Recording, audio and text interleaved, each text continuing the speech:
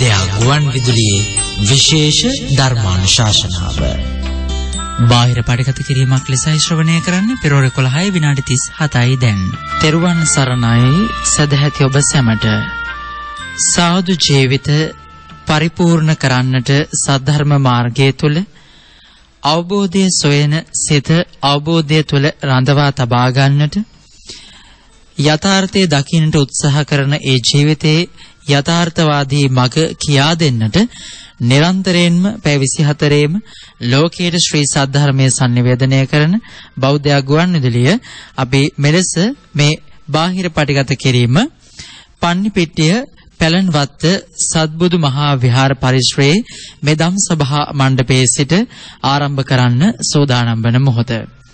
විශේෂයෙන්ම පන්නිපිටිය පැලන්වත්ත සද්බුදු මහා විහාරාධිපති ශ්‍රී ලංකා රාමඤ්ඤ මහානිකායේ ජ්‍යෙෂ්ඨ කාරක සංඝ සභික පූජනීය පන්විල ශ්‍රී සෝරත මහා ස්වාමින් වහන්සේගෙන් අවසරයි.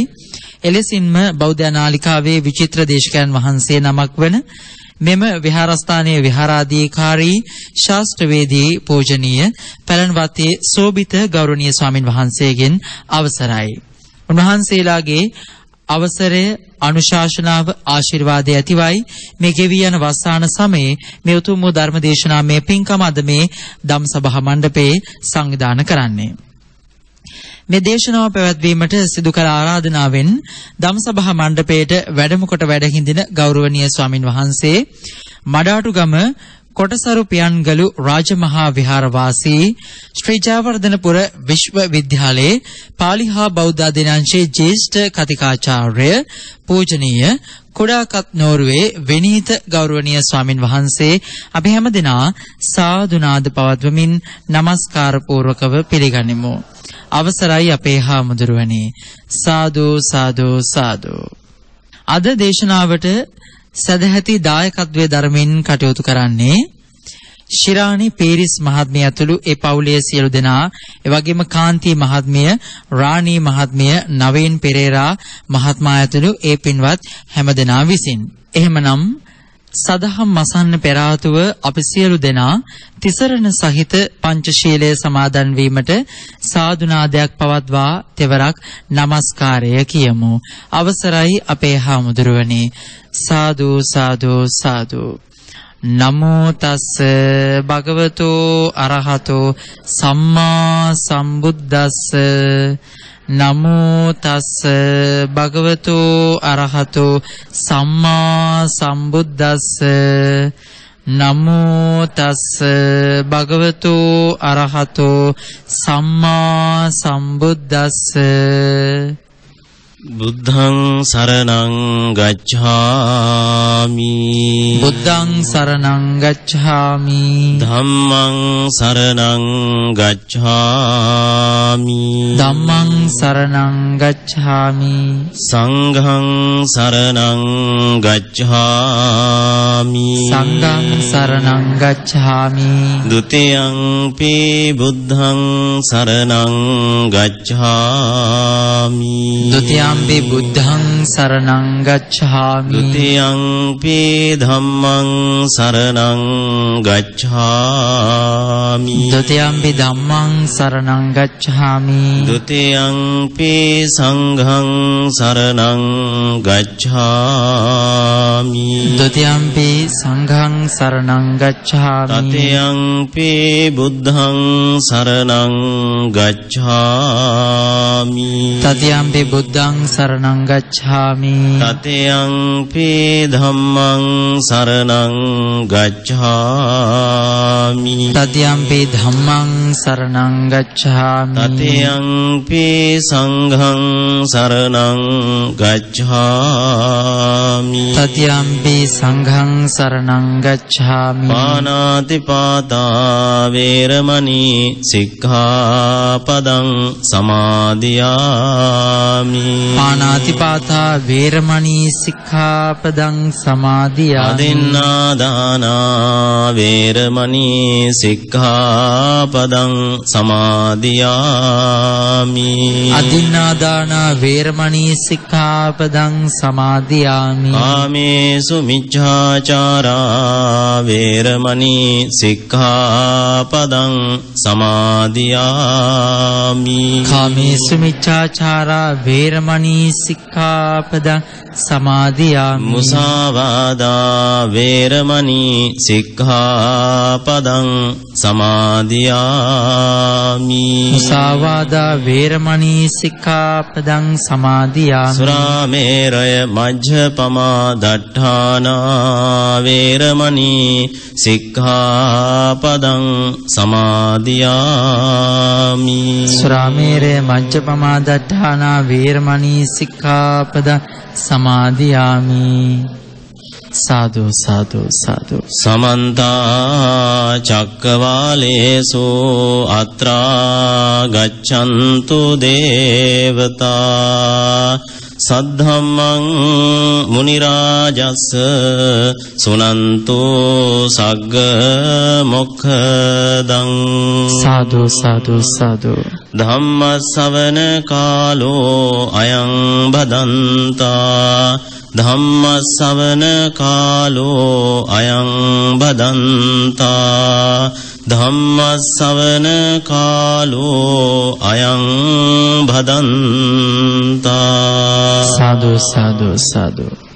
නමෝ තස් භගවතෝ අරහතෝ සම්මා සම්බුද්දස්ස। නමෝ තස් භගවතෝ අරහතෝ සම්මා සම්බුද්දස්ස නමෝ තස් භගවතෝ අරහතෝ සම්මා සම්බුද්දස්ස. සාදු සාදු සාදු. කතමංච භික්කවේ මරණං යං තේසං තේසං සත්තානං තම්හා තම්හා සත්තනිකායා චුති චවනතා භේදෝ අන්තර්ධානං මච්චු මරණං කාලකිරියා කන්දානං භේදෝ කලේබරස්ස නික්ඛේපෝ ජීවිතින්ද්‍රයස්ස උපච්ඡේදෝ ඉදං උච්චති මරණං තී සාදු සාදු සාදු.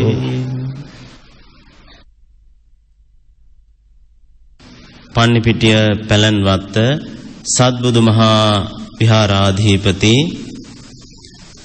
ශ්‍රී ලංකා රාමඤ්ඤ මහානිකායේ ජ්‍යෙෂ්ඨ කාරක සංඝ සභික අවසරයි පූජ්‍ය පන්විල ශ්‍රී සෝරත මහා ස්වාමීන්ද්‍රයන් වහන්සේ ඒ වගේම සත්බුදු විහාරයේ විහාරාධිකාරී ශාස්ත්‍රවේදී පූජ්‍ය පැලන්වත්තේ සෝභිත ස්වාමීන්ද්‍රයන් වහන්සේ ඇතුළු විහාරවාසී මහා සංඝරත්නයන් අවසරයි. අද දවසේ මේ ධර්මදේශනාමය පින්කමෙහි දායකත්වයෙන් කටයුතු කරන ශ්‍රාණි පීරිස් මහත්මිය රාජ් පීරිස් මහත්මයා ඒ වගේම ඒ අයගේ පුදනුවන් නවීන් පෙරේරා මහත්මයා කාන්ති මහත්මිය රාණි මහත්මිය කියන මේ පින්වතුන් ඇතුළු මේ වෙලාවේ ධර්ම ශ්‍රවණය කිරීමට ධම් සභාවට පැමිණ සිටින පින්වතුන් වගේම බෞද්ධ ගුවන්විදුලි නාලිකාව ඔස්සේ ධර්ම ශ්‍රවණය කරන සදැහැති කාරුණික පින්නතුනි. ඔබ හැමදෙනාම බුදුරජාණන් වහන්සේගේ ශාසනයෙහි උගන්වන හැටියට දෙලොව වැඩදායි පින්කමක් ඉෂ්ට සිද්ධ කරන්නට සූදානම් වෙන වෙලාව. පින්නතුනි අපි හැමදෙනාම මේ ලෝකේ මිනිස්සෙන්ව උත්පත්තිය ලබනකොට පෙර පුණ්‍ය මහිමයක් අපිට ලැබිලා තිබෙනවා ඒ තමයි සෙසු සත්වයින්ට වඩා මේ සංසාර ගමනට අවශ්‍ය කරන පුණ්‍ය ධර්මයන් එක්රැස් කර ගැනීමේ වාග්යය. ඒක සාමාන්‍යයෙන් අනිකුත් සත්තුන්ට එහෙම වාග්යක් ලැබෙන්නේ නැහැ. මොකද ඒ අයට සංවිධානය කරලා පින්කම් කරන්න අවස්ථාව ලැබෙන්නේ නැහැ. බොහෝ විට අපි දේශනාවේ සඳහන් කරන හැටියට දෙවියන්ට පවා පින් අනුමෝදන් කරන්නේ මිනිස්සුયો. ඉතින් ඒක නිසා මිනිස්සෙයින්ව උත්පත්තිය ලැබපු ඔබ මේ කරන කටයුත්ත ඔබේ මෙලව ජීවිතයට වගේම සංසාර ගමන සුවපත් කර ගැනීම සඳහා හේතු වාසනා වෙනවා. එහෙම සද්භාවයෙන් කරන මේ පින්කමේදී බුදුරජාණන් වහන්සේ දේශනා කොට වදාලා විහාය වික්ඛේපමලං අට්ඨිකත්වාන සාදුකං සද්ධම්ම සවනං එත්ත සවනන්ති පෞච්චති කියලා. ඒ කියන්නේ කාට හරි කෙනෙකුට මේ ධර්ම ශ්‍රවණය කිරීමෙන් හැබෑම ඵල ලබන්නට නම් විහාය වික්ඛේපමලං. ඒ කියන්නේ කෙලෙස් වලින් විසිරුණු මනසක් තියාගෙන බණහන්ට බෑ. බණහන වෙලාවට ඒ ධර්ම ශ්‍රවණය කිරීම සඳහා හිත යොමු කරන්න අවශ්‍යද නැද්ද? යොමු කරන්න ඕනේ කරනවා. අපේ හිත පිරීලා තිබෙන මේ ක්ලේශකර ධර්මයන් නිසා ඒ කියන්නේ ලෝභ ආදී හැඟීම්, ද්වේෂ ආදී හැඟීම්, මෝහයට බර හැඟීම් මේවා නිසා මනස නිතර තැන් තැන් වල ගමන් කරනවා. එහෙම මනස තන තන ගමන් කරන විසිරුණු සිතකින් අපිට මේ ඵලය ලබන්නට අපහසුයි.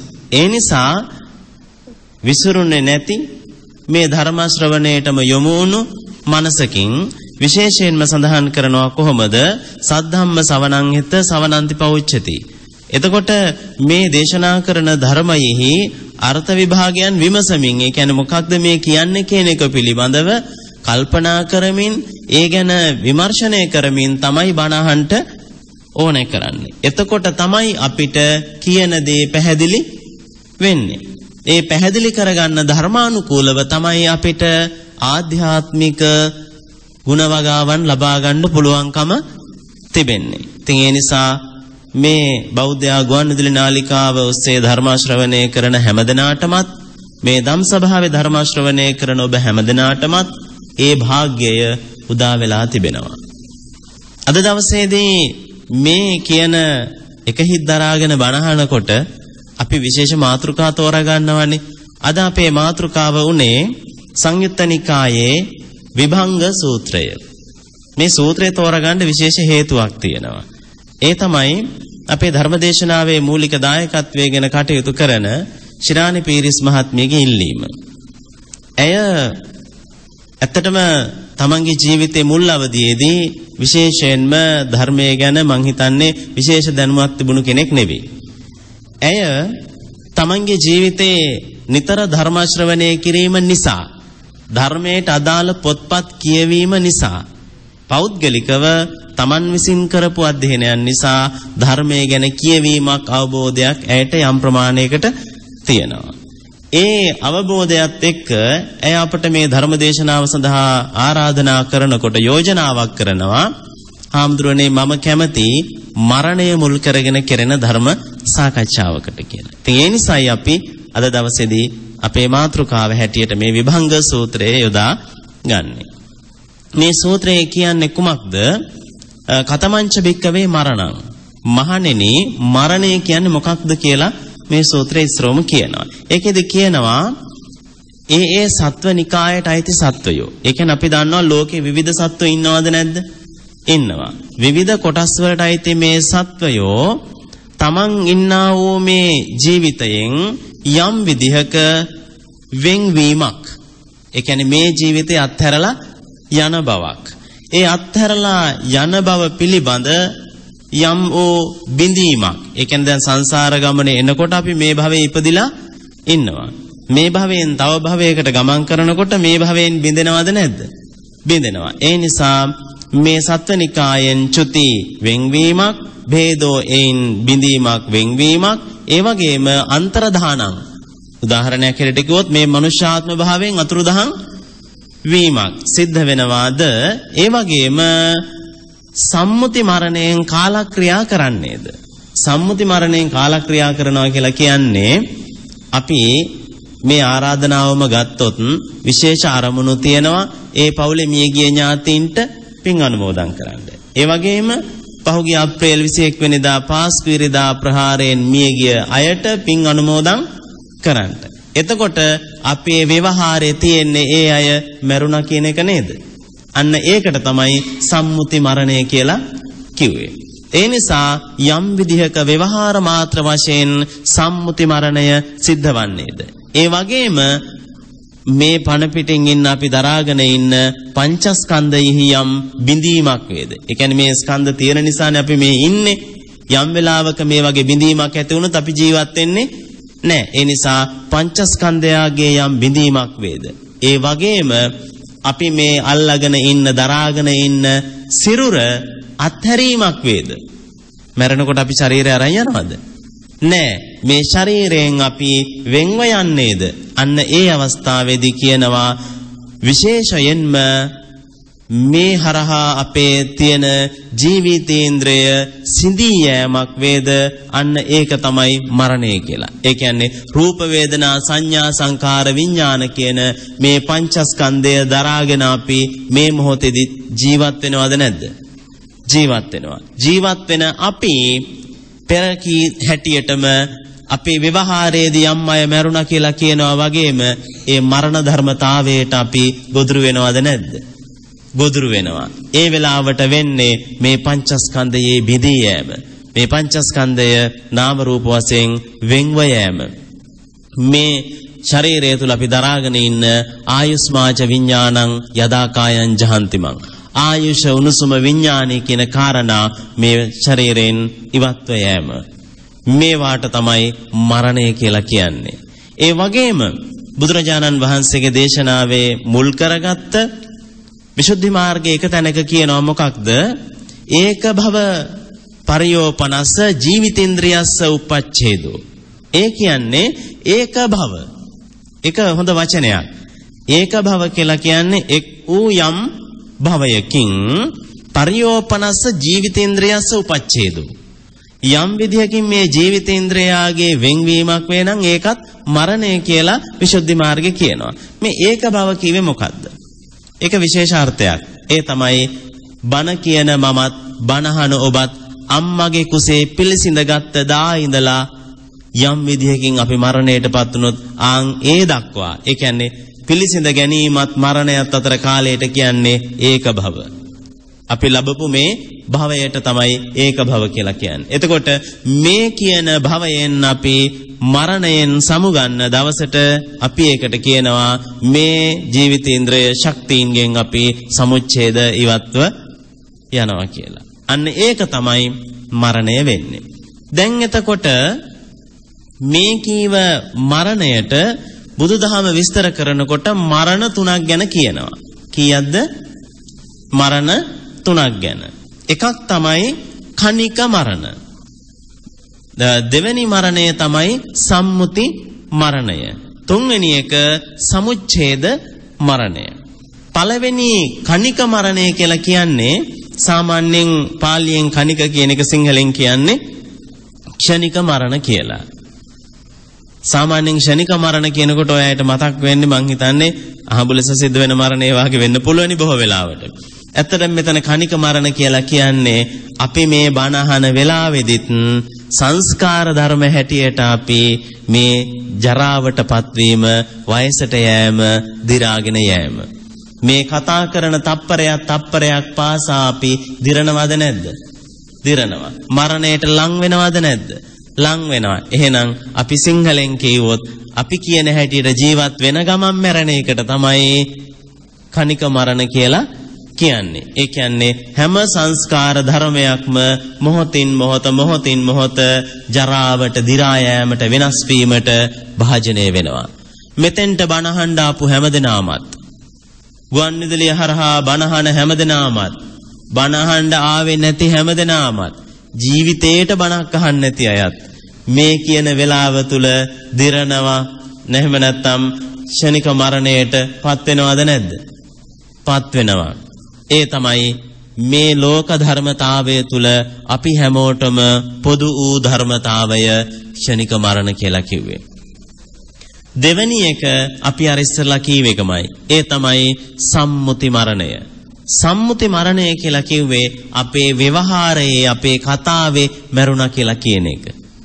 ඒ ව්‍යවහාර මරණය කියලා කියන්නේ අපි මේ දරාගෙන ඉන්න ශරීරයත් එක්ක අපි නඩත්තු කරන ආයුෂ උණුසුම විඥානය කියන කාරණා ඉවත්ව යෑම තමයි සම්මුති මරණය කියලා කියන්නේ.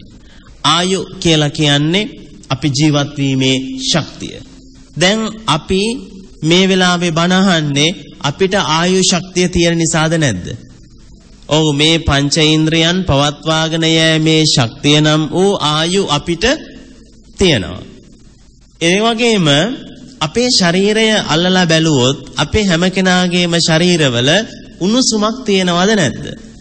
තියෙනවා. ඒකට කියන්නේ තේජෝ ධාතුව කියලා. දැන් එතකොට මරණයට පත්වෙච්ච කෙනෙක්ගේ මෘතදේහයක උණුසුම තියෙනවද? නෑ. මරණයට පත්වුණු කෙනෙක්ගේ මෘතදේහයකට තවදුරටත් ආයු ශක්තිය ඇත්තේ නෑ. මේ පංචස්කන්ධයෝ පවත්වාගෙන යෑමේ ශක්තිය ඒකට නෑ. ඒ නිසා තමයි අපි ඒවා ආදාහනය කරන්නේ, වලලන්නේ, භූම කරන්නේ.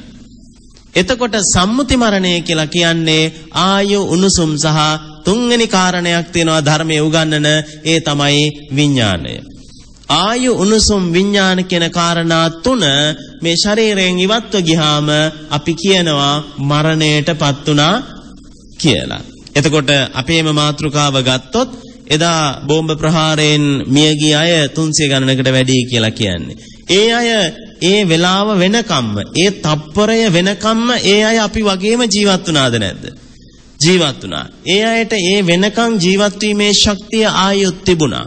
ඒ වෙනකම්ම ඒ අයට ගේ ශරීරය තුල උණුසුම තිබුණා. ඒ වෙනකම්ම ඒ අයට විඥාන ශක්තිය තිබුණා. හැබැයි ඒ අවාසනාවන්ත සිදුවීමත් සමගම ඒ අයගේ ඒ කියන ස්කන්ධයාගේ විනාශය සිද්ධ වුණා.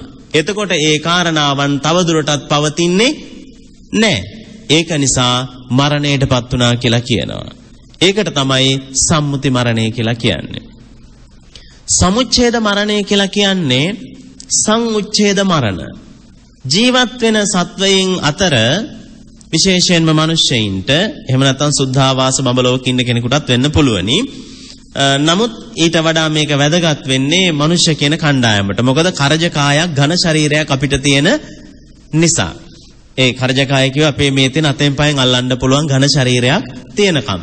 මේ ශරීරයක් තියෙන අය අතරින් කෙනෙකුට බුදු වෙන්න පුළුවන් නම් පසේ බුදු බව ලබන්න පුළුවන් නම් අරහත් ඵලයටපත් වෙන්න පුළුවන් නම් අපි ඒ අයට කියන්නේ මැරෙනවා කියලා නෙමෙයි පිරිනිවන් පානවා කියලා. පිරිනිවන් පානවා කියලා අපි එතන වචනයක් විශේෂ කොට දක්වන්නේ ව්‍යවහාරයෙන් නම් මැරෙනවම තමයි. හැබැයි සාමාන්‍ය කෙනෙක් මැරෙන විදිහට නෙවෙයි ඒ අයගේ මරණය සිද්ධ වෙන්නේ. ඒ අයත් ජීවත් වෙනකොට ඒ අයට ආයු තියෙනවා. ඒ අයගේ ශරීරවල උණුසුම තියෙනවා. ඒ අය මිය යන වෙලාවට ආයු අවසන් වෙනවා.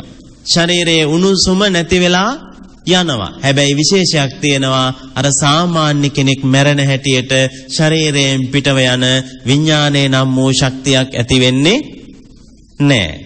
ඒ අයට එහෙම එකක් නැහැ. මේ ධර්මදේශනාවේ තැනක අපි එක ගැඹුරින් සාකච්ඡා කරනවා. සාමාන්‍ය වශයෙන් ගත්තොත් බුදුපසේ බුදුමහරහතන් වහන්සේලා ඒ ඒ අයගේ අවසන් භවයයි ඒ අවසන් කරන්නේ. මොකද විඥානයක් පිටව නොයනවා කියන්නේ යලි භවකාරක කර්ම ශක්තියින්ගෙන් භවයක් සකස් වෙන්නේ නැහැ කියන එක. ඒ නිසා කණික මරණ නැත්නම් මේ මොහොතක් මොහොතක් පාසා දි รา යමින් සිද්ධ වෙන මරණය ඒ වගේම විවහාරයේ හැටියට අපි මැරෙනවා කියලා සිද්ධ වෙන දේ ඒ වගේම ධර්මානුකූලව අවබෝධ කරගත්ත ධර්මය අවබෝධ කරගත්ත කෙනෙකුට සිද්ධ වෙන පිරිනිවන් පෑම කියන අවස්ථාවේදී සිද්ධ වෙන මරණය තමයි සමුච්ඡේද මරණ කියලා කියන්නේ. ඒ කියන්නේ යලි ඉපදීමක් නැතුව අවසන් මරණයට පත්වීම කියන එක. දැන් එතකොට සම්මුති මරණය තමයි අපේ මාතෘකාව. සම්මුති මරණය සිද්ධ වෙන එක හරිම ගැටලුකාරී දෙයක්. අපි මේ මාතෘකාව ගැන කතා කරද්දිත් කිව්වා කොච්චරනම් මිනිස්සු දුර්වලද කිව්වොත් සමහර අය මරණය ගැන හිතන්න කැමති නෑ. සමහර අය මරණය ගැන කතා කරන්න කැමති නෑ. නිවන් දකින්නත් ඕන කියලා කියනවා. එතකොට මේ මරණය ගැන අපි හැබෑවටම කතා කරන්නේ නැතුව ඒ ගැන අවබෝධ කරගන්නේ නැතුව මේක නතර කරන්න පුළුවන්ද? බෑ. මේක හැබෑවටම නතර කරන්න නම් මේක දැනගන්න ඕනේ කරනවා. මේක දැන ගැනීම විතරක් ප්‍රමාණවත්ද? නෑ බුදුරජාණන් වහන්සේගේ දේශනාවේ උගන්වනවා මරණානුස්සතිය කියලා භාවනාවක්. මේ මරණය පිළිබඳව අනුස්සතිය. ඒ අනුව බලලා මෙනෙහි කරලා භාවනාවක් හැටියට මරණය වඩන්ටයි කියලා බුදුහාමුදුරු දේශනා කරනවා. ඒක නිසා මේ කතාවේදී අපි තේරුම් ගත යුතු දේ තමයි අපි හැමදෙනාටම මේ ජීවිතය සුවපත් කරගන්නටත් සසර සුවපත් කරගන්නටත් දුර්වලකම් නැති කරගන්නටත් තියෙන මහාම භාග්‍යය තමයි මරණය පිළිබඳව මෙනෙහි කරන්න දැන ඉගෙන ගන්න ඒ අනුව කල්පනා කරමින් ජීවත් වෙන්න තියෙන හැකියාව කියන එක. ඒකයි මම කිව්වේ මේක අනිත් සත්තුන්ට තේරෙන්නේ නැහැ. මිනිස් වශයෙන් උපන් අපේ තේරුම් ගන්න ඕනේ කරන්නේ. හැබැයි මේක තේරුම් නොගත්තොත් මේ සංසාර ගමන නතර කරන්න වෙන්නේ නැහැ. ඉතින් ඒක නිසා බුදුරජාණන් වහන්සේගේ දේශනාවේ සඳහන් කරනවා මේ අපිට සිද්ධ වෙන මරණය විවිධ විදිහට වෙන්න පුළුවන් කියලා. දැන් අපිටම පේනවනේ ඒක. එක එක වෙලාවල් වලදී එක එක අය මැරෙනවා. ඒකට දැනුගත්කම්, රූපය, තාන්නමාන්න, ඇති හැකිකම්, ಜಾතියාගම්, කුල කිසිම ભેදයක් ඇත්තේ නැහැ. දේශනාවේ සඳහන් කරනවා මේ මරණ ධර්මතාවය කියන එක ඒකාන්තයි, නියතයි, අනිවාර්යයි කියලා. හැබැයි ඒක සිද්ධ වෙන විදිහ එක එක්කෙනාට වෙනස් වෙන්න පුළුවනි. ඒකෙදි ඇතම් කෙනෙක් මරණයටපත් වෙන්න පුළුවනි ආයුක්කය. ඒ කියන්නේ මේ පංචස්කන්ධය පවත්වාගෙන යෑමේ ජීවිතේන්ද්‍රිය නම් වූ ශක්තිය ආයු අවසන් වීම නිසා කෙනෙක් මැරෙන්න පුළුවනි. දැන් එතකොට අපි මැරුණු අය ගැන හිතන්න ගියොත් එහෙම මොන විදිහෙන් මැරුණද කියලා එක විදිහකට හිතන්න බෑ. කර්මය නිසා කියලා කෙනෙකුට කියන්න පුළුවන් කෙනෙකුට උපක්‍රම නිසා කියලා කියන්න පුළුවන් කෙනෙකුට රෝග ආදිය කියලා නිසා කියන්න පුළුවන්. නමුත් ඒක ධර්මාර්ථයෙන් ගත්තාම හරි සංකීර්ණයි. කෙනෙක් මිය යන්න පුළුවනි ආයු අවසන් වීමෙන්. ඒ වගේම කර්ම අවසන් වීමෙනුත් කෙනෙක් මිය යන්න පුළුවන්. ඒ කියන්නේ පංචස්කන්ධය හොඳට තියෙනවා. මේක එහෙම නැත්නම් මේ ශරීරය කූඩුව රැකගෙන යන්න පුළුවන් බවක් තියෙනවා. නමුත් එයාට ජීවත් වීම සඳහා කර්ම ශක්තිය නැහැ ඒ හින්දා යම් විදියකින් ආයු ශක්තිය තිබෙද්දී කර්ම ශක්තිය අවසන් වීමෙනුත් කෙනෙක් මරණයටපත් වෙන්න පුළුවන්. ඒ නිසා ආයුක්ඛය මරණ, කම්මක්ඛය මරණ කියලා දෙවිධයකට වෙන්න පුළුවන්. තවත් විදිහක් වෙන්න පුළුවනි. ඒ තමයි උභයක්ඛය. ඒ කියන්නේ ආයු ශක්තිය සහ කර්ම ශක්තිය කියන දෙකම අවසන් වීමෙන් කෙනෙක් මරණයටපත් වෙන්න පුළුවන්. ඒක නිසා ආයු කර්ම කියන දෙකම අවසන් වීමෙන් කෙනෙක් මැරෙනවා විටක හතරවෙනි විදියකුත් කියනවා. ඒ තමයි සමුච්ඡේද මරණ. ඒ කියන්නේ ආයු සහ කර්ම කියන දෙකම තිබෙද්දිත් කෙනෙක් මිය යන්න පුළුවන්. එහෙමනම් පැහැදිලි මරණය කොයිතරම් සංකීර්ණද කියලා. ආයු අවසන් වීමෙන් කර්ම අවසන් වීමෙන් උභයක්කය ආයු සහ කර්ම කියන දෙකම අවසන් වීමෙන් මේ දෙකම තිබෙද්දිත් කෙනෙක් මරණයටපත් වෙන්න පුළුවනි. කෙනෙක් ප්‍රශ්න කරන්න පුළුවන් මේවා තිබෙද්දි මැරුණොත් මොකද වෙන්නේ කියලා. ඊට සමාන්තර භවතලයක යලි ඉපදෙනවා ඒ කර්ම ගෙවීම සඳහා. එතකොට යම් කෙනෙක් මේ වාගේ දේවල් වලටපත් වීමට එක එක්කෙනාගේ චර්යා ධර්ම හැසිරීම ස්වාභාවික විපත් පුද්ගල ප්‍රයෝග මේ විදිහේ උපක්‍රම নানা ප්‍රකාර දේවල් නිසා අපිට වෙන්න පුළුවනි. ඒකෙදි අපි කියනවා උතු නියාම, බීජ නියාම, ධම්ම නියාම, කම්ම නියාම, චිත්ත නියාම নানা ප්‍රකාර නියාමයන් නිසා මරණය සිද්ධ විය හැකියි කියලා. දැන් එතකොට අපිට වැදගත්ම දේ මරණය සිද්ධ වෙන විදිය හොයන එකද? නැහැ පින්නතුනි. පින්වත් හැමදෙනාම හොඳට මතක තියාගන්නට අපිට තියෙන ලොකුම ගැටලුව මරණය සිද්ධ වෙන්නේ කොහොමද කියන එක නෙවෙයි. බුදුහාමුදුරුවෝ පැහැදිලි කරන්නේ නම් මේ මරණය නතර කරන්න බැරි නිසා කොහොම සිද්ධ වුණත් කවදා හරි සිද්ධ වෙන්න තියෙන නිසා හොඳම දේ නම් මරණය නතර කරන එක. මරණය නතර කරන්නේ කොහොමද? ඉපදිලා මරණය නතර කරන්න පුළුවන්ද? පුළුවන් ඒ වගේම බෑ. ඉපදිලා මරණය නතර කරන්න පුළුවන් වෙන්නේ කොහොමද? නිර්වාණය අවබෝධ කර ගැනීමෙන්. හැබැයි ඉපදි ඉපදි මරණය නතර කරන්න පුළුවන්ද? බෑ. සංසාර ගමනේ කොතැනක හරි ඉපදුනොත් මරණය අනිවාර්යෙන්ම තියෙනවා. ಜಾති කියන්නේ ඉපදීම, ඉපදුණු හැම කෙනෙකුටම පොදු ධර්මතාවයේ ජරා දිරා යෑම, ඒ වගේම ප්‍රිය විප්‍රයෝග, අප්‍රිය සංප්‍රයෝග අවසාන වශයෙන් ව්‍යාධි ආදියට මුහුණ පාලා මරණම්පි දුක්ඛං මරණයටපත් වෙනවා වෙනවාමයි. ඒ නිසා බුදුරජාණන් වහන්සේගේ ශාසනය උගන්වන ධර්මය තමයි යම් කෙනෙකුට මේ මරණය නතර කරන්න නම් ඉපදීම නතර කරන්නටයි ඕනේ කරන්නේ. එහෙමනම් ඉපදෙන්න තියෙන හේතු නැති කරන්නට ඕනේ. තව විදිහකින් කිව්වොත් හේතුඵල වාදයට යටත් වෙන හැමදේම වෙන්නේ ඉපදීම නිසා තමයි මරණය සිද්ධ වෙන්නේ. ඉපදීම නිසා තමයි මරණය සිද්ධ වෙන්නේ නම් ඉපදෙන්න හේතුවක් තියෙනවා. ඒ ඉපදෙන්න තියෙන හේතුව අපි නතර කරන්න ඕනේ. දැන් ඔබට මම යෝජනා කරන්න හිතන්ට කියලා මෙහෙම මැරෙන්න අපි ඉපදෙන්නේ අනිත් අයගේ හේතුවක් හින්දාද අපේම හේතු නිසාද? ඔව් අපේම හේතු නිසා. අපිම තමයි හේතු හදාගන්නේ යලි ඉපදීමට. මරණයට පත්වෙන වෙලාවට යලි උත්පත්තිය සිද්ධ වීම සඳහා අපිම හේතු හදාගෙන මැරෙනවා. අන්න ඒ හේතු හදාගෙන මැරීමේ වගකීම අපිම දරා ගන්න ඕනේ. එහෙනම් හේතු අවසන් කිරීමේ වගකීමක් තියෙන්නේ අපිටමයි Tamanටමයි. මේකෙදි හේතුව හොයාගන්න තියෙන හොඳම දේ තමයි ධර්මානුකූලව මේ ජීවිතය දිහා බලන එක. දැන් එතකොට සමහර කෙනෙකුට හිතෙන්න පුළුවනි මේකේ අගමුල හොයන්න ඕනේ කියලා. ඇත්තටම බුදුහාමුදුරුව පටිච්චසමුප්පාදේ දේශනා කරනකොට පැහැදිලි කරන්නේ මේ සංසාරයේ චක්‍රයක් හැටියට. අවිජ්ජාපච්චය සංඛාරා කියලා එක කටපාඩම් කරන්න පටන් ගත්තට මේක රෝදයක් වුණාම රෝදේ මුලක් හොයන්න පුළුවන්ද? බෑ. ඒ වාගේ කවද්ද ආවේ කොතනින්ද ආවේ කියන එක නෙවෙයි වැදගත්. මේක අවසන් කරන විදිහයි වැදගත්. උදාහරණයක් හැටියට කිව්වොත් එහෙම මේ බුදුහාමුදුරුවන් ජීවමාන සමයේදී උපසාල්හක කියලා බමුණෙක් ඉඳලා තියෙනවා. එයාගේ නම තමයි උපසාල්හක. මේ උපසාල්හක කියන බමුණා ධන ධාන්‍ය තිබුණු ඊටා කුලවන්ත කෙනෙක්. ඒ අයට තියෙනවනේ මරණදී පවා එක එක දේවල්. දැන් අපේ සමාජය උනත් ගත්තාම යමක් ඇති තනතුරු තාන්න මාන්න තියෙන අය, ශක්තිය ඇති අය තමන්ගේ මරණය පවා අනිත් අයට වඩා විශේෂ කරන්න හිතනවා. බැලුවහම ඔක්කොම වෙන්නේ එකම දේ. නමුත් ඒ වාගේ අදහස් තියෙනවා. දැන් මේ උපසාල්හක කියන බමුණා තමන්ගේ දුවදරුවන්ට කියලා තිබුණා මගේ ධන ධාන්‍ය කොයිතරම් හරි වියදම් කරලා කවදා හරි දවසක මම මැරෙනකොට මාව වලලන්න ඕනේ කවුරුවත් වලලපු නැති තැනක කියලා. දැන් ඔන්න උපසාල්හකගේ යෝජනාව තිබුණා. ඉතින් අවසන් කැමති පත්‍රයේනේ. සමහරට ඇවිල්ලා හොල්මන් කරයි කියලා බයට හරි මොක හරි නිසා ගෞරවයට හරි දරුවෝ කල්පනා කළා ලෝකේ කොහේ හරි ඇවිදලා මේක හොයන්න ඕනේ කියලා. ඉතින් දැන් මේක හොයාගෙන හොයාගෙන ගියා කිසි තැනක් ලේසියෙන් හොයාගන්න බැරි වුණා. හැබැයි මිනිස් වාසයකින් තොරව මහා ඝන කැලෑවක්. මිනිස්සු ස්පර්ශ නොකරපු හැටියට අපි හිතන කැලෑ තියෙනවනේ. ඒ කැලෑවකට ගියා.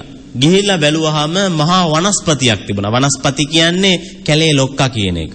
පති. විශාල ගහ. ඒ කියන්නේ නුග ගහක්. ඒ නුග ගහ කියන එක විශාල ප්‍රදේශයක පැතුරුණු ගහක්නේ.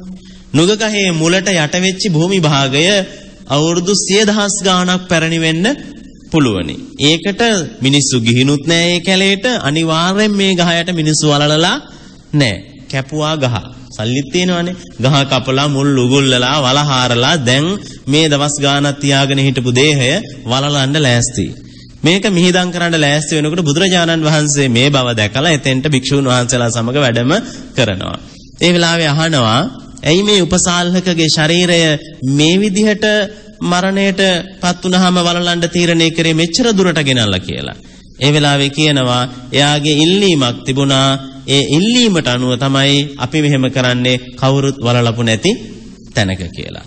ඒ වෙලාවේ බුදුරජාණන් වහන්සේ තමන් වහන්සේගේ නුවණින් බලලා ඒ අයට පැහැදිලි කරනවා උපසාල්හකම මිනිසියෙක් වෙලා සිය දහස් වතාවක් මෙතනම වලලලා තියෙනවා. මේකෙන් කියන්න උත්සාහ කරන්නේ අපේ මේ සංසාර ගමනේ කොයි තරම්නම් අපි මැරෙමින් ඉපදිමින් ගිහින් ඇද්ද උපසාල්හක මැරිලා ඒ විදිහටම එතන වැළලුණා නම් තව කොයිතරම් භවවල තන තන වැළලිලා ඇද්ද? අපිට දැන් සමහර කැලෑ ඝන කැලෑ වුණාට ඒවා එක්තරා යුගයක මනුස්ස වාස ඒ නිසා අපේ මේ අනන්ත සංසාර ගමන භවයෙන් භවයේන ගමන මේ මරණය නිමක් නැති කෙලවරක් නැති දුරක් තියෙන එක. ඒතර අනමතග්ගෝයන් සංසාරෝ පුබ්බා කෝටීන පඤ්ඤායති. ඒ කියන්නේ මේකේ අගක් මුලක් හොයන්න බැරි තරමටම අපි දීර්ඝ ගමනක ඇලිලා ඉන්නවා. ඔබ නිකමට හිතලා බලන්න මේ සංසාරේ අපි මීට පෙරත් ඉපදුනා නම් ඉපදිච්ච හැම කෙනෙකුටම උරුම වුණු යම් යම් ස්වභාව අපි විඳිමින් ඉන්නවද නැද්ද? අපි විඳින දේවල් තියෙනවානේ. ඒවා එතකොට පෙර භවවල තියෙන්නේ නැද්ද? එහෙමම තියෙන්න ඇති. අපි මැරිලා ආය භවයක ඉපදුනොත් මිනිස්සෙක් වෙලා කියලා හිතමුකෝ. මේ తත්වය වෙනස් වෙයිද? හම්බ වෙන අය ටික කාලයකට වෙනස් වෙයි. විදිහ තැන පොඩ්ඩක් වෙනස් වෙන්න පුළුවනි. හැබැයි ඉතින් තන විදිහ වෙනස් වුණත් කවුරු ආශ්‍රය කරත් මොන තරාතරමක උපන්නත් හැමෝම নানা ප්‍රකාර විදිහට මේව අත්විඳිනවද නැද්ද? අත්විඳිනවා. ඒ නිසා බුදුරජාණන් වහන්සේ දේශනා කරන ධර්මයේදී පැහැදිලි කරනවා ඉපදිච්ච මිනිස්සෙයින්ට තමයි මම මුලිනුත් කිව්වා. ඉපදිච්ච මිනිස්සෙයින්ට තමයි ජීවිතය ගැන ආපස්සට බලන්න පුළුවන්. මේ අත්දැකීම් එක්ක අතීත භවයන් ගැන හිතන්න පුළුවන් මිනිස්සුන්ට. මේ අත්දැකීම් එක්ක අපිට අනාගත භවයක් සිද්ධ වුණොත් වෙන්නේ මොකද්ද කියලා හිතන්න පුළුවනි. ඒ හින්දා මේ අනතුර කියන එක එහෙම නැත්නම් මේ අල්ලාගත් භවයේ තියෙන ස්වභාවය කියන එක වෙනස් කරන්නට නම් පින්නතුනේ ඔබට බුද්ධිය තිබෙනවා ඒක පාවිච්චි කරන්නයි අවශ්‍ය කරන්නේ. එහිදී බුදුරජාණන් වහන්සේ දේශනා කරනවා මෙහෙම කතාවක්. ඒ තමයි යම් කෙනෙක් මරණයටපත් වෙනකොට චින්නෝ පිරුක්කෝ පුනරේව රූහති. ඒ කියන්නේ මුල් තියෙන ගහක් මැදින් කැපුවොත් යලි දලු දානවද නැද්ද? යලි දලු දානවා. ඒ වාගේ අපේ තෘෂ්ණාව නම් වූ මුල් සසරට ඇදිලා තියෙද්දි මරණයටපත් වුනොත් අනිවාර්යයෙන්ම දලු දානවද නැද්ද? දලු වෙනවා. ඇයි අපිම වියාගත්තා, අපිම ගොතාගත්තා, අපිම ඇදගත්ත මුල් තියෙන නිසා තමයි සසර උත්පත්තිය සිද්ධ වෙන්නේ. ඒක සිද්ධ වෙන්නේ කොහොමද කියනකොට බුදුරජාණන් වහන්සේගේ දේශනාව පැහැදිලි කරනවා මේ බණ අහන වෙලාවෙදිත් අපි දරාගෙන ඉන්නේ පඨවි, ආපෝ, තේජෝ, වායෝ කියන මහා භූතයන්. පඨවි කියන්නේ තද ගතිය, ආපෝ කියන්නේ වැగిරෙන ගතිය, තේජෝ කියන්නේ උණුසුම, වායෝ කියන්නේ වායු හැකිලෙන පිම්බෙන ගතිය. දැන් අපි මේ ශරීරය ජීවත් කරවන්නේ පඨවි, ආපෝ, තේජෝ, වායෝ කියන මේ කොටස් එක්ක. ඒකේ පඨවි කියලා කියන්නේ තද ගතිය. ආපෝ කියන්නේ වැగిරෙන ගතිය. මේ ශරීරයේ තද ගතියයි වැగిරෙන දේවලුයි තියෙනවද නැද්ද? නැද්ද? තියෙනවනේ. ඔයගොල්ලෝ ඕන තරම් අහලා තියෙනවා. මොනවද? කේසා ලෝමා නකා දන්තා තචෝ කියනකොට කුණු වෙන කුණප කොට්ටාස 32ක් තියෙනවා. මේ කොට්ටාස 32 නෙමෙයිද අපි මොනවා ඇන්දත් මොන පාටින් හිටියත් මොන දේ කළත් තියෙන්නේ. මේ 32කින් 20ක්ම පටවි තද ගතියට අයිති මොනවද කෙස් ලොම් නිය දත් ඇට තව විදිහට ඇතුලේ තියෙන කොටස් ඔක්කොම 20ක් තියෙනවා. ඒවා පටවි කියන ස්වභාවයෙන් තද ගතියෙන් යුක්තයි. ආපෝ කියන්නේ වැగిරෙන ගතිය. මොනවද? සෙම සොටු ලේ සැරව කඳුළු දහඩිය මේ ආදී වූ වැగిරෙන ස්වභාවයෙන් යුක්ත කාරණා 12ක් තියෙනවා. ඒවා තමයි දෙතිස් කුණප කොට්ටාස. දැන් මේ බණහන වෙලාවෙදිත් බණ ජීවිතේට අහන්න නැති අය තුලත් මේවා තියනවද නැද්ද? මේවා තියනවා. මේ හැම කෙනා තුලම මේ කියන පඨවි 20යි ආපෝ වැగిරෙන 12යි 32 තියෙනවා. මේ කියන කරුණු කාරණා එක්ක නැත්නම් මේ කොටාසයත් එක්ක ඊගාව තියෙන කොටස තමයි තේජෝ සහ වායෝ. මේ තේජෝ වායෝ කියන එක දේශනාවේ සඳහන් කරන්නේ කර්මජ තත්ව කියලා. ඒ කියන්නේ කර්මානුරූපව ඉපදෙනකොට ලැබපු ශක්තියින් හැටියට. දැන් කෙනෙක් කියන්න පුළුවන් උණුසුම ලෝකේ තියෙනවනේ කියලා. ඔව් තියෙනවා. වායු ලෝකේ තියෙනවනේ. ඔව් වායු ලෝකේ තියෙනවා. හැබැයි අපි නාම රූප ධර්ම හැටියට මෞකුසේ පිළිසිඳ ගන්නකොට අම්මගේ තාත්තගේ සම්බන්ධය නිසා අර කියන පඨවි සහ ආපෝ කියන දේවල් එකතු වුණා. ඒකට අම්මා තාත්තා ගත්ත කෑම බීමත් එකතු වුණා. ඒක මනුෂ්‍ය රූපයක් හැටියට නැත්නම් සත්වයක හැටියට කලල රූපයක් හැටියට පත් උනේ අපේ කර්මජ ඕජාවන් එක්ක එකතු වෙලා ඒකට උණුසුම සහ වායු කියන දෙක එකතු වෙච්චි නිසා හැබැයි අපි මීට පෙර කීව හැටියට කවදා හරි මරණයටපත් වුනොත් ඒ කියන්නේ ආයු උණුසුම විඥානය කියන දේවල් මේ පංචස්කන්ධයෙන් ඉවත් වුනොත් ශරීරයෙන් ඉවත් වුනොත් ඒ ඉවත් වෙන ඒවට අපි කියන්නේ නාම ධර්ම කියලා. රූප කීවේ ශරීරයට නාම කියලා කීවේ වේදනා සංඥා සංඛාර විඥාන කියන එක. එතකොට දැන් මේ බණහන අපේ ශරීරයෙන් වේදනා සංඥා සංඛාර විඥාන කියන හතර ඉවතට ගියොත් ඒකේ තව දුරටත් තේජෝ සහ වායෝ කියන දේවල් රැඳෙන්නේ නැහැ. උණුසුම නැති වෙලා සීතල වෙනවද නැද්ද? වෙනවා. හුස්ම ගන්නකොට තියෙන හැකිලෙන පිම්බෙන ප්‍රසාරණය වෙන ගතිය නැති වෙලා යනවද නැද්ද? මං අහන්නේ මලමිනී රස්නේද? මලමිනී හුස්ම ගන්නවද? නෑ. එහෙමනම් පඨවි සහ අර කියන ආපෝ කියන මේ ස්වභාව දෙක තමයි අපේ නාම රූප කොටාසේ තියෙන්නේ. තේජෝ සහ වායෝ නාම හා සම්බන්ධවයි තියෙන්නේ. මරණයටපත් වෙනකොට මේ කාරණා සියල්ල නැති වෙලා යනවා ක්‍රමක්‍රමයෙන්. දැන් එතකොට පඨවි ආපෝ තේජෝ වායෝ කියන මේ සියල්ල විසින් නාම රූප කියන මේ ඇහැට පේන කොටාසේ රූප ඇහැට පේන්නේ නැති වේදනා සංඥා සංකාර කියන කොටස. නාම මේ දෙක තියෙන තාක් අපි අල්ලගෙන ඉන්නවා මම මගේ කියලා ඇතැම් වෙලාවට අපි බැඳෙනවද නැද්ද? බැඳෙනවා. මේ සියල්ල ආයුක්ඛය වේවා කම්මක්ඛය වේවා උභයක්ඛය වේවා මේ කවරම හෝ අවස්ථාවකදී සමුච්ඡේද වේවා මරණයටපත් වෙන්න පුළුවන්ද බැරිද? පුළුවනි. ඒ නිසා මේ తত্ত্বය මරණානුස්සතියෙන් දකින්න ඕන කියලා බුදුහාමුදුරු දේශනා කරන්නේ. දැන් එතකොට සමහර කෙනෙක් කියන්න පුළුවන් කමුතුෙන් කියන්න දැන්න මැරෙන බව දන්නවන්නේ කියලා. ඔව්. හැබැයි නිකම්ම නිකම් මම මැරෙනවා කියලා හිතන එකට මරණානුස්සතිය වෙන්නේ නෑ. මරණානුසතිය වෙන්නේ නිබ්බිදාය විරාගාය නිරෝධාය උපසමාය අභිඤ්ඤාය සම්බෝධාය නිබ්බානාය සංවත්තති කතමෝ ඒක ධම්මෝ මරණ සති ඒ කියන්නේ සංසාරයට ඇලෙන්නේ නැතුව ඒකෙන් ගැලවිලා යන්න හිතන හිතින්. ඒ වගේම විරාගාය නොඇලෙන හිතින්. ඒ වගේම දේශනාවේ සඳහන් කරනවා උපසමාය අභිඤ්ඤාය සම්බෝධාය නිබ්බානාය.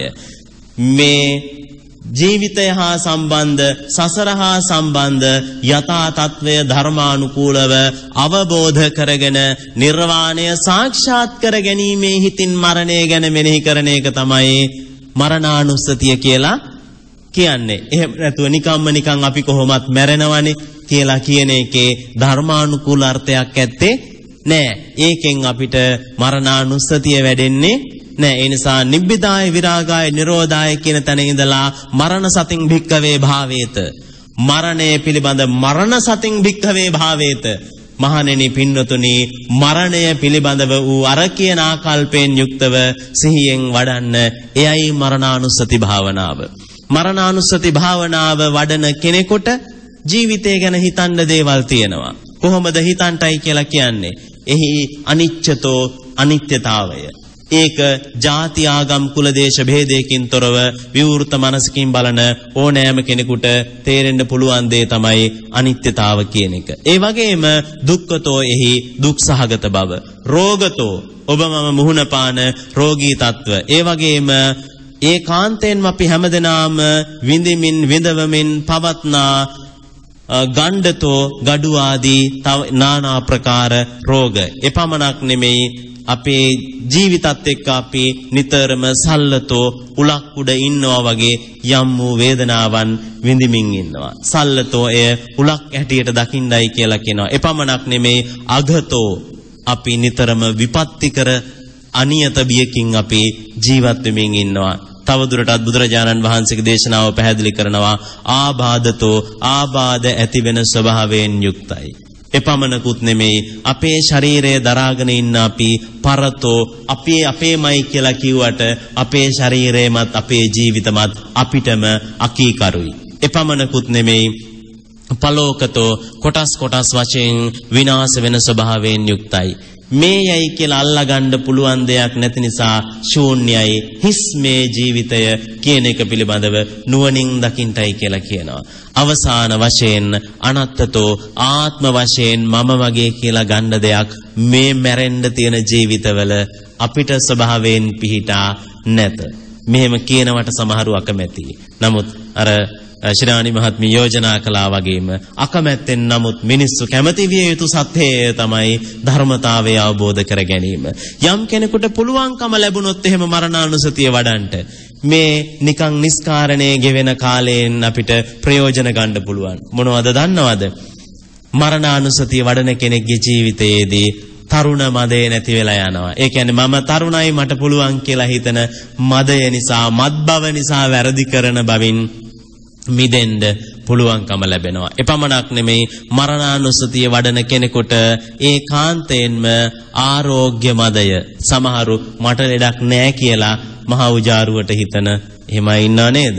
ඉන්නවා. ඒ කියන නිරෝගී කම නම් වූ මදයෙන් මත්තුණු බව නැති කරගන්න පුළුවන්කම ලැබෙනවා. එපමණකුත් නෙමෙයි යම් කෙනෙකුට මේ ජීවිත මදය මගේ ජීවිතය පිළිබඳව තියෙන මත් බව මම මගේ කියලා අල්ලා බවින් වැඩ කරන එක නැති කරගන්න පුළුවන්කම ලැබෙනවා. අවසා තවදුරටත් පැහැදිලි කරනවා උපාදාන. ඒ කියන්නේ යම් යම් දේවල් අපි දැඩිව අල්ලාගෙන ඉන්නවා.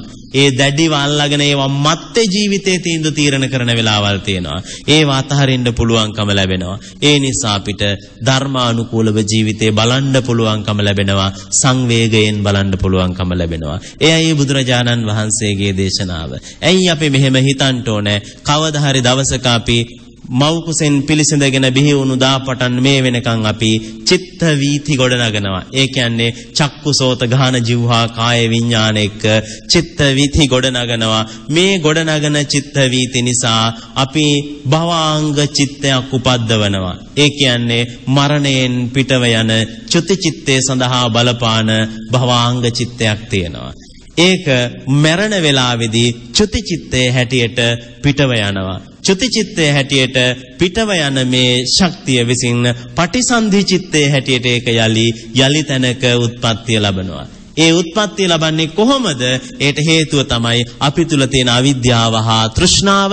එමෙන්ම අපි අර චිත්ත වීති හැටියට එක එක විදිහට ඒ දේශනාවේ සඳහන් කරනවා අපි මේ විශේෂ වශයෙන්ම ජවන් සිත් හතකට යටත්ව උපද්දවන චිත්ත වීතියක් විසින් භවාංග චිත්තයක් ගොඩනගනවා. ඒක අපි මරණ වේලාවේදී චුති චිත්තයේ හැටියට පිටව යනවා. පිටව යන චුති චිත්තය යලි භවයක් සඳහා පටිසන්ධි චිත්තයේ හැටියට අපේ කර්ම දෝෂ සහ තෘෂ්ණාව අනුව ඊගාව භවයක පිළිසිඳ ගන්නවද නැද්ද? පිළිසිඳ ගන්නවා. එහෙනම් පිටව යන ආයු උණුසුම් පිටව යනකොට පිටව යන විඥානය කියලා කිව්වේ අන්න ඒ චුතිචිත්තය. ඒ චුතිචිත්තය යලි තැනක මව් කුසක හෝ අණ්ඩජ ජලාබුජ සංසිදෝපපාතික බිත්තරයක එහෙම නැත්නම් ජලය ආදී තැනක එහෙම නැත්නම් දේව බ්‍රහ්මාදී භවතලයක එහෙම නැත්නම් මව් කුසක තිරිසන් මවකේ කුසක් තුල වැනි ගර්භාෂයක පිළිසිඳ ගන්න පුළුවන්.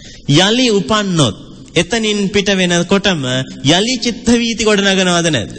ගොඩනගනවා. එහෙම ගමන් කරමින් යන ජීවිතේ කවදා හරි දවසක මරණයටපත් වෙනකොට චුති චිත්තයක් පිටව යනවද නැද්ද? පිටව යනවා. එහෙම එකක් පිටව ගියොත් යලි පටිසන්ධි චිත්තයක් ඇටියට ඉපදෙනවද නැද්ද? ඉපදෙනවා. එහෙමනම් මැරෙමින් නිපෙදෙමින් යන සංසාර ගමනකට බලපාන ශක්තිය අප විසින්ම පවත්වාගෙන ගිහිල්ලා සසර දික් වෙනවා. ඒ හින්දා බුදුරජාණන් වහන්සේගේ දේශනාව අවධාරණය කරනවා මොකක්ද?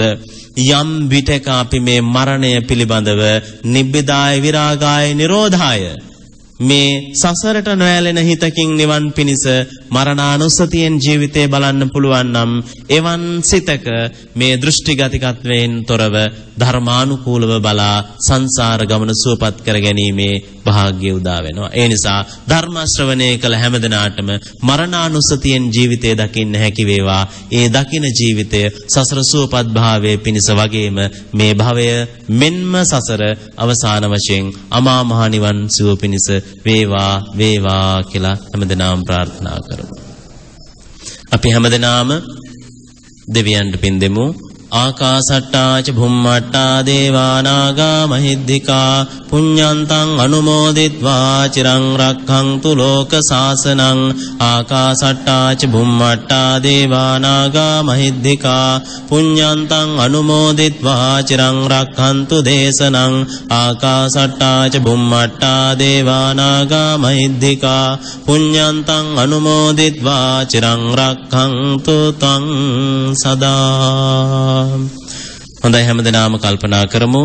අද දවසේ මේ ධර්ම දේශනාවේ දායකත්වයේ ගෙන කටයුතු කරන්නට යෙදුණු ශිරාණී පීරිස් මහත්මිය රාජ් පීරිස් මහත්මයා පළංවත ඉදිගහදිනේ පදිංචි මේ දෙපළ ප්‍රධානව ඒ දෙපළගේ පුත්‍ර රත්නය අපි දන්නවා නාවික ශේෂ්ත්‍රයේ කපිතාන්වරයෙක් හැටියට සේවය කරන නවීන් පෙරේරා මහත්මයා ඒ වගේම කාන්ති මහත්මිය රාණි මහත්මිය තුළු පවුලේ පින්නතුන් විසින් දායකත්වයේ ගෙන කටයුතු කරන්නේ විශේෂයෙන්ම ශිරාණී පීරිස් මහත්මියගේ සහ රාජ් පීරිස් යන දෙදෙනාගේ මියගිය දෙමව්පියන් ඒ වගේම ශිරාණී පීරිස් මහත්මියගේ සහෝදරයා ඇතුළු සිළු ඥාතීන්ට පුණ්‍යානුමෝදනා කරන්නට ඒ වගේම කාන්ති සහ රාණි කියන දෙදෙනාගේ නමින් මියගේ දෙමව්පියන් ඇතුළු ඥාතීන්ට පුණ්‍යානුමෝදනා කරන්නට පාමංකර නිවසේ පදිංචි සිට පරලෝසපත් ආච්චි අම්මා සහ සීයා ඇතුළු මියගේ ඥාතීන්ට පුණ්‍යානුමෝදනා කරන්නට මීට දින 22කට පෙර පරලෝසපත් හෙට්ටිආරච්චිගේ නාලිකා මහත්මිය සහ මීට වසර 4කට පෙර මියගිය අමරසිංහගේ සිරිල් පෙරේරා මහත්මයා ඇතුළු මියගේ ඥාතීන්ට පුණ්‍යානුමෝදනා කරනවා.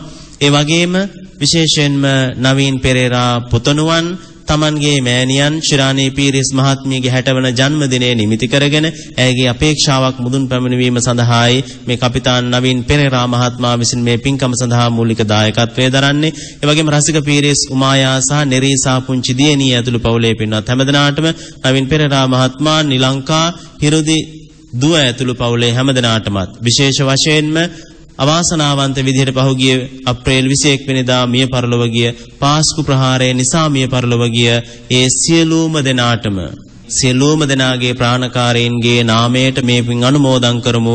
අනුමෝදන් වේවා. ඒ අය කිසිම කලෙක මෙවන් අකල් මරණ වලට ගොදුරු නොවේවා. සුවපත් සංසාර ගමනක්ම උරුම වේවා කියලා සාදු කියලා ප්‍රාර්ථනා කරනවා.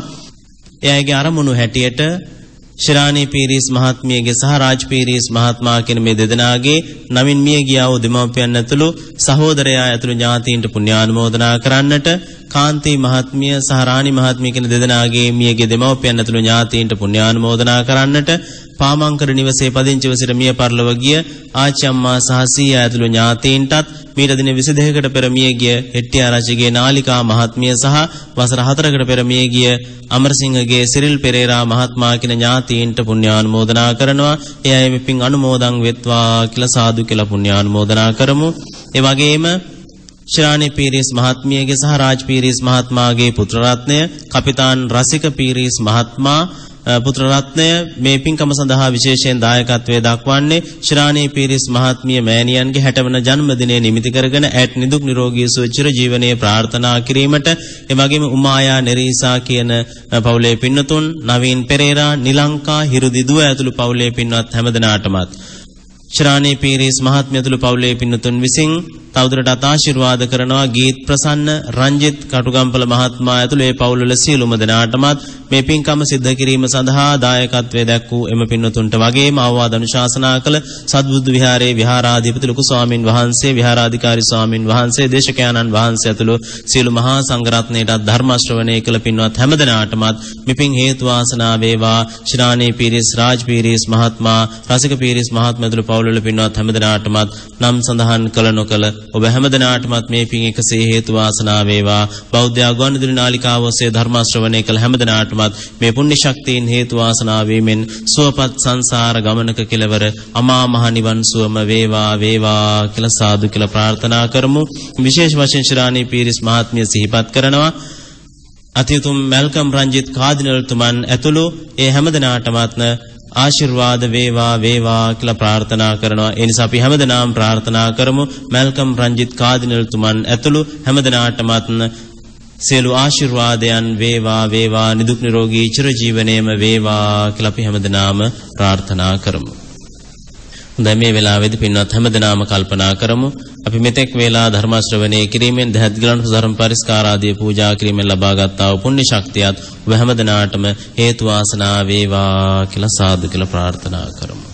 බෞද්ධ සබ්බ මංගලං රක්ඛන්තු සබ්බ දේවතා සබ්බ බුද්ධානුභාවේන සදාසොත්ති භවන්තු තේ බෞද්ධ සබ්බ මංගලං රක්ඛන්තු සබ්බ දේවතා සබ්බ ධම්මානුභාවේන සදාසොත්ති භවන්තු තේ බෞද්ධ සබ්බ මංගලං රක්ඛන්තු සබ්බ දේවතා සබ්බ සංඝානුභාවේන සදාසොත්ති භවන්තු තේ. සාදු සාදු සාදු. මේ දේශනාව පවත්වා වදාලේ මඩාටුගම කොටසරුපියන්ගලු රාජමහා විහාර වාසී ශ්‍රී ජයවර්ධනපුර විශ්වවිද්‍යාලයේ පාලි හා බෞද්ධ අධ්‍යනාංශයේ ජ්‍යෙෂ්ඨ කතිකාචාර්ය පූජනීය කුඩාකත් නෝර්වේ විනීත ගෞරවනීය ස්වාමින් වහන්සේ. ගෞරවනීය ස්වාමින් වහන්සේට නිදුක් නිරෝගී චිරජීවනයේ සැලසේවායි අපි හැමදෙනාම ප්‍රාර්ථනා කරමු. සාදු සාදු සාදු.